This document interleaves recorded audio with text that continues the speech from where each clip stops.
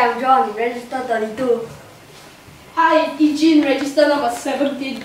Hi, it's Nathan, register number 12.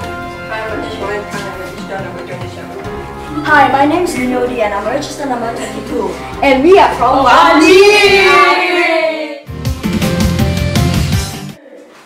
The reason why we're recording this video is because we want to shed light on what happened to Singapore before 1819. This is part of our HI group project by Nan High School and probably the rest of Singapore as well. So thank you for tuning in and enjoy.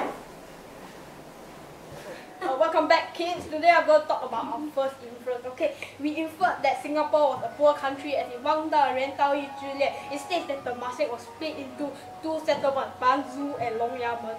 The people in Banzu traded poor goods, poor goods like uh, red gold, blue satin, cotton print, and aromatic wood, and was a peaceful trading port city under the rule of a local chief. However, the people of Long Yamen relied on piracy.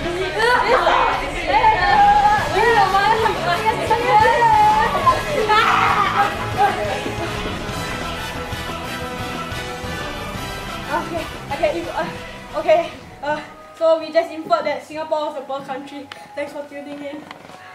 Our next inference that is that Singapore traded with the Javanese. This is because Javanese style jewelry was, was found in SG. Oh, John, let's flip over try to Oh. okay. Oh my god, my god! Oh, Oh, let me see! oh. It's a treasure! This shows that Singapore had traded with Java. One of the examples of the jewelry found is an armlet. yes, we Oh, found treasure. It's an armlet! After so long. Let me try and wear it! It's so cool.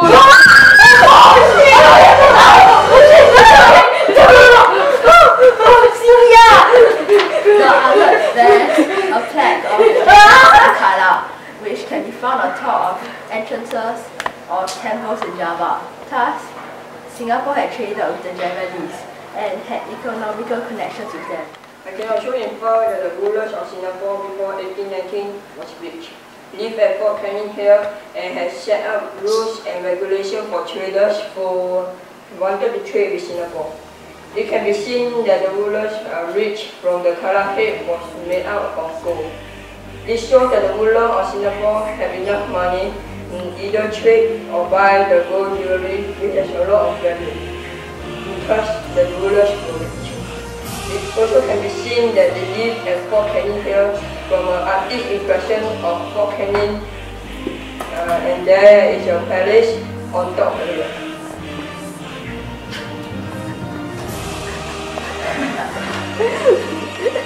Next, we can infer that different types of currency were used in Singapore.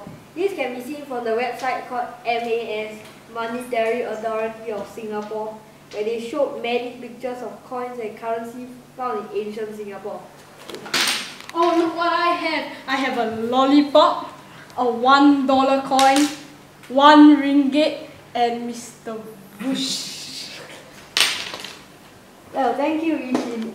From the pictures of the different types of currency, we can infer that Singapore used different types of currency. Not that currency, of course.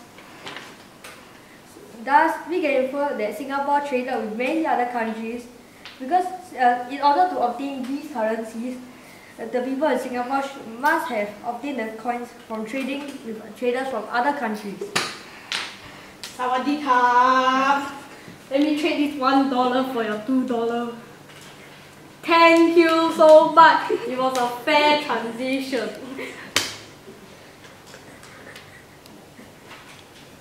Since the variety of currencies had a direct link with the numbers of countries Singapore had traded with, we can infer that Singapore traded with other countries. We can also infer that most of the trading is found at the mouth of the Singapore River.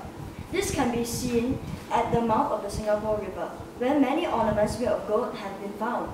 Oh, Richie, I found this at the mouth of the lo- of the Singapore River. Oh wow, so cool! Oh, it's so cool!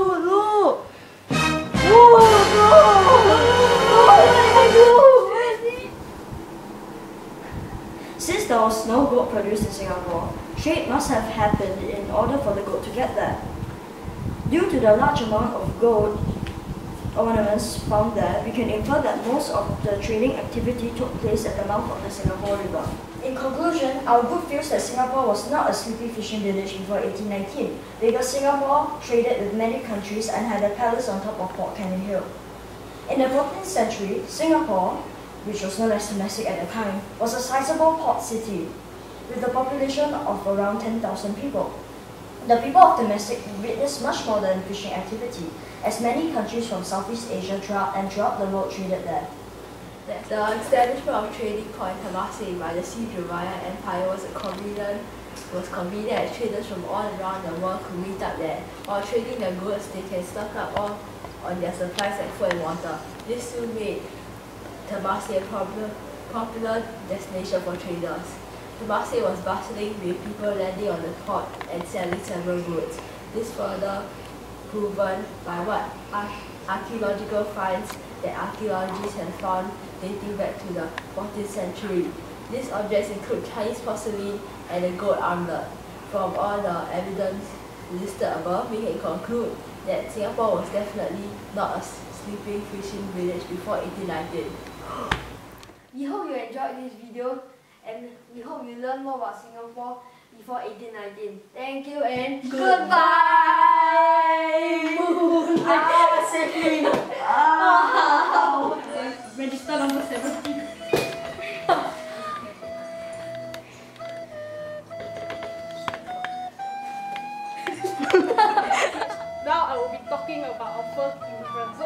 Can infer that infer.